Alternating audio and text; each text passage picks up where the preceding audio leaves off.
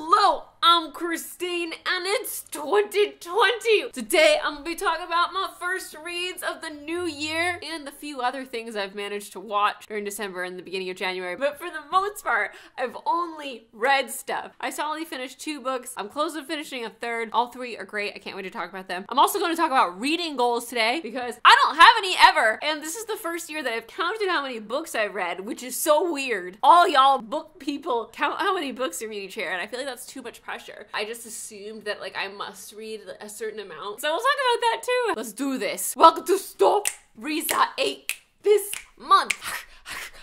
Off the hook, but the phone never rang. Beast on the beats, no claws, no fangs. The first book that I finished this past month was A Curse So Dark and Lonely by Brigid Kemmerer. This was our December Booksplosion book of the month, and it was excellent. If YouTube didn't hate book talks, then I would be doing a book talk for this baby. I'd be doing a book talk for all the books that I read this month because I loved them. We were working with Bloomsbury in December. The second book, A Heart So Fierce and Broken, came out January 7th, so you can binge these now. This is a Beauty and the Beast retelling. It is by far my favorite Beauty and the Beast retelling that I've ever read. It was full of heart. The core characters are so well written, they're so fleshed out. You can feel them. You know, they're all real people and you care about them all in different ways and you just want everything to work out. There's this prince that is under this curse to relive the season of fall to winter over and over again until someone falls in love with him. And he's done this hundreds of times and failed every time. What I love so much about this version of it is that he's not the beast in the beginning. He's just a dude. After two and a half, three weeks,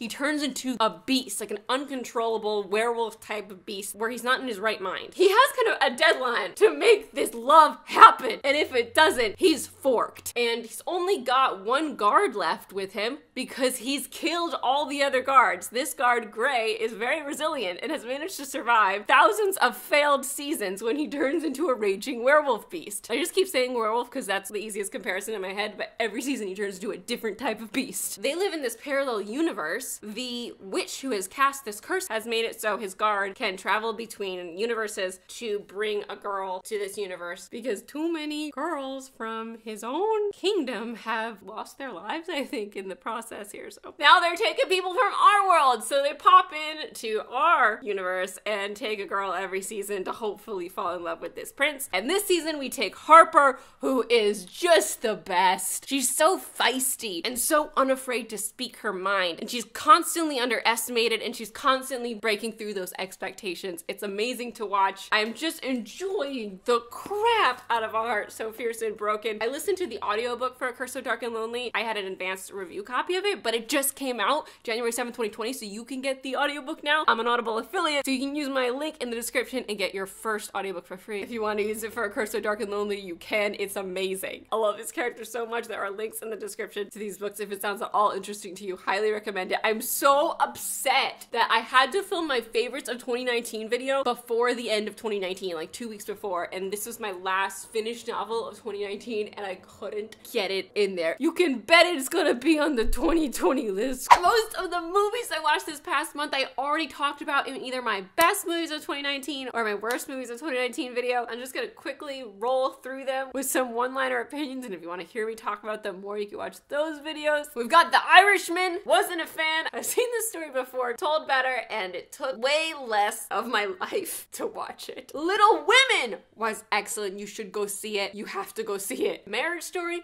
was devastating. It was so, so sad. It was very, very hard to watch, but great performances. And 1917, this was a work of art. It was a masterfully choreographed cinematic triumph. It's about two guys trying to deliver a message in enemy territory during World War One. You never watch World War One movies because World War One feels like a big, hot, meaningless mess when you think about it too hard. So it was cool to see a film take place in that time and be attached to these characters. It was good. It wasn't like a heartwarming journey. It was stressful, but it was good. The last movie that I watched this month was Rise of Skywalker, the third and final in the new Star Wars trilogy. The fandom for Star Wars in general has gotten very toxic, or maybe it was toxic. I wasn't a part of it before this. Everyone's mad about everything ever. No one can ever be pleased. I've really enjoyed this new trilogy. I've had so much fun. I feel like the characters are so much more real and there's so much more fun dialogue and they have great back and forths with each other in this new trilogy. I was invested in Reylo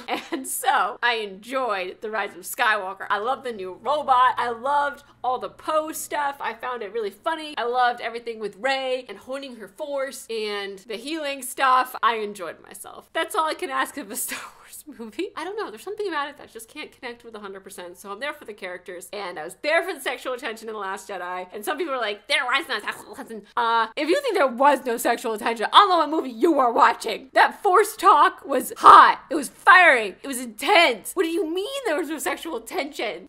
Yes, it could have been better if it was two films, but Star Wars works in trilogies, and no one wants to break up the trilogy. No one wants to make a Star Wars quad trilogy, quad four movie. I don't know.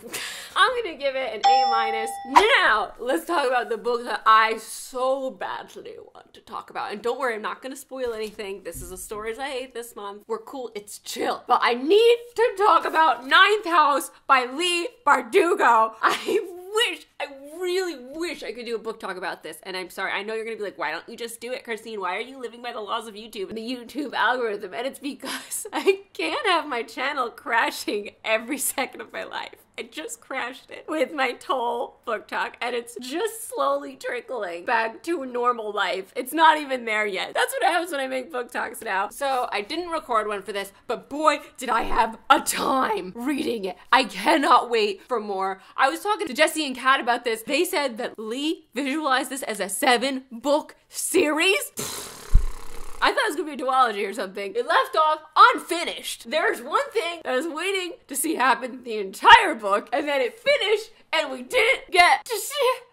You did not just end this book without a publication date for the next book on that end. But she did. If you don't know, this takes place at Yale in the world of secret societies, which is fascinating. I knew nothing about secret societies. Leigh Bardugo went to Yale, which I did not know, and she was in one of these secret societies. And it's more fun not to know which one she was in until after you read this, because you learn about these secret societies throughout the book. At first, they're throwing all these names of the societies at you, and you're like, whoa, whoa, whoa, whoa. Don't worry, you're gonna learn about them as you go. It's an urban fantasy. It's one of those, you gotta give it a second. Your brain will soak it in, and you will have all the knowledge by the end. What I hate about this end and not having the second book, I'm gonna forget about all these societies by the time book two comes out. They're fresh in my brain right now. I want the second one right now. But alas, it's not worth me waiting to read this. I'm sure the second one will refresh us in the beginning, you know? The audiobook for this was so, so good. So I did the audiobook over Christmas and I was listening to it at first, you know, when I was getting ready in the morning at my mom's house. And then I was purposefully doing things where I could listen to this. Like I'd go for an hour Starbucks break so I could sit in my car and drink my drink and listen to Ninth House because it was excellent. It got more and more intense. This is a rated R book. It's an adult book. It feels weird clarifying that things are adult books, but I know I have youths in the audience here. If you're under the age of 13, I wouldn't pick it up. It has a lot of harder themes in it. The lead character is a very troubled young woman who gets a scholarship to go to Yale, and she didn't even apply there. They come to her because she has a special ability that she doesn't understand, that the societies know more about than she even does, and they bring her in because of this ability. Do you want me to tell you what it is? She can see ghosts! And it's just the coolest and the scariest, and that's where everything comes in. So these societies deal with magic. Ancient, weird, sacrificey magic, and all magic, of course, always has a price, and normal people in these societies, they know that grays exist, that's what they call ghosts, but they can't see them unless they take this concoction that is basically poison. Like, it could kill you. Every time you take it, it's a risk. If you get too old and you take it, there's a high probability that you die. If you mix it wrong, you could die. There's a lot of different stuff going on. Needless to say, there are high stakes. She is brought into the society that was basically made to just monitor the other societies because the other societies can run rampant doing all this crazy magic shit that could hurt other people if they're not careful because it involves using bring other people sometimes. They bring randos into the fold to use them for their magic ceremonies.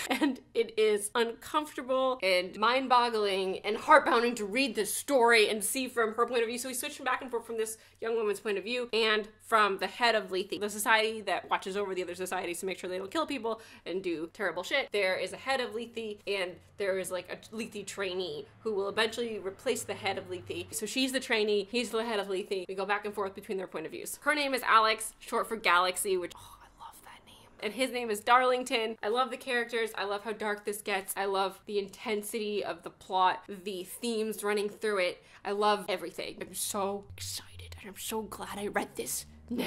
So I can be extremely excited for the second book for as long as it takes for it to come out. The Scythe trilogy just ended, and that was the series that I was most excited about, other than Cassandra Clare's books, which I'm always excited about. Now I have another series that I'm so incredibly excited about. This is by far my favorite Leigh Bardugo book that I've read thus far. Like, I love Six of Crows, and I love Crooked Kingdom, and the Grishaverse is cool, but Ninth House is amazing. You have to read it. Unless you're not close enough to adulthood to read it, because it has serious themes and issues inside it. But if you are, read it. Before we get into some reading goals talk, I watched two Netflix series over the last two months, which is just not a lot for me, you know. If you've been here for a while, you know I usually have like 50 billion seasons of TV that I've managed to watch somehow in one month. Every moment has been crammed with me working on something. I finished You season two, which wow, it was a ride. It's tough because season one of You is one of those perfect seasons of TV, in my opinion. It was so excellent and so creepy and thrilling, and I was on the edge of my seat, scared, but in the best way. Season two, we know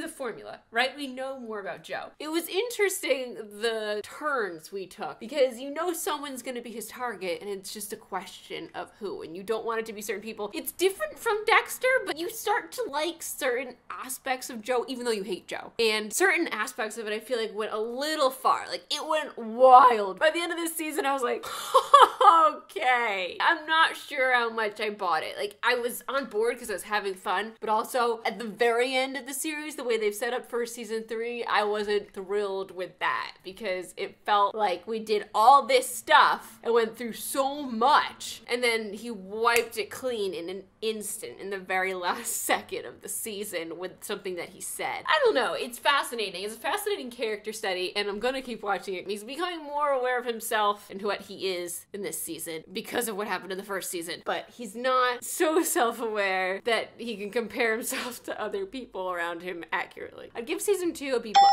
The other Netflix show that I watched just this past week, I think, is Spinning Out, which was amazing. I started watching it I couldn't stop. It was so, so, so, so good. I'm so glad I watched it. It ended on like an annoyingly annoying cliffhanger because all I want to do is watch more Spinning Out. I want those characters. I want to see the thing that they left off on. I was like, how could they leave it? Like, if you watch it, like, we're building up to a certain thing in that last episode, and then, you know, it, we cut off and it's like, excuse me, bitch. I have been looking forward to watching this, and you turned it off right when it was supposed to happen. Of course, they're setting us up for season two, and I'm excited. I'm gonna watch season two. The season was really, really great. It focuses a lot on mental health. The mother in the series is bipolar, and so is the lead character, played by Kaya Scodelario, and they're both trying to just live their lives and deal with it, and it's very difficult. And then Willow Shields from The Hunger Games, who plays Katniss's younger sister, Prim, is the younger sister in Spinning Out. She's also a figure skater. If you like figure skating or watching figure skating, oh my gosh, I just love watching all the routines. Any figure skating scene, I'm like, and I'm just so invested. You get to know these characters, then you're watching them so anxiously when they're doing their routines. When they go for a jump, you're like, you're usually like that, but never so much have I been like that than watching them in this show about fictional characters rather than watching real people at the Olympics. At the Olympics, you're like, you know, you're invested, but not like you know them. We know them here. This is intense. We've been working for this all season. Like if season one an A minus. There are parts where the score got really loud and a little cheesy in the first couple episodes. That's, I think, what's taking it down from being like an A or an A plus. There's some rocky moments there where they're finding their footing. Okie dokie. Let's quickly talk about some reading goals. Now, I see everyone doing this 100 book reading goal, this 50 book reading goals all the time on Twitter and stuff. And I've never attempted to do them. I never care how many books I read in the year. You know, I just want to read as many as I can and enjoy as many stories as I can. And I think that's a healthy approach. And I don't mind that I do that. But I've never even tried to count. And this year I counted. I read only like 27 books. And I know that's a lot in terms of everyone else outside the book bubble. Some people read like five books in a year or 12 is a good number, like one a month for some people. But 27, when I'm like, people are reading 50 and 40 and 100 books in a year. How did I read so few? How could it only be 27? But I guess I should be thankful that I even got through 27, and it's all thanks to the glory of audio because I can listen while I'm doing other things so I can read and be a productive adult, which is very important. I'm really curious now as to like how many books did I read in 2012? Like a million? I was reading like two books a week for a time in 2012. That's a lot. It's a lot of books, okay? I'm curious like outside of this book bubble, outside of the immediate booktube bubble, how many books everyone has read in the past year. I'd love to know how many books you read last year. Now that I have a marker for how much I read so I can like log it in my brain how hard it is to read 50 books in a year, let alone 100, please share your number in the comments. As for 2020, again, I'm not setting any reading goals. I'm hoping to read as much as I can, as much of the books that I've wanted to read in the past couple years that I can. And that's really all there is there. If setting a reading goal is helpful to you, I'd say go for it. But if it just puts unneeded pressure on your reading, why do it? And those, ladies and gentlemen, were all the stories that I ate this month. My favorite one, oh, I think I have to give it to Ninth House. Damn! It was excellent. You should read it. You can use my Audible affiliate link to get your first book and get Ninth House too, if you didn't use it for something else. I'm Christine. Thank you so much for watching. I make videos every week, and I will see you next time. Goodbye!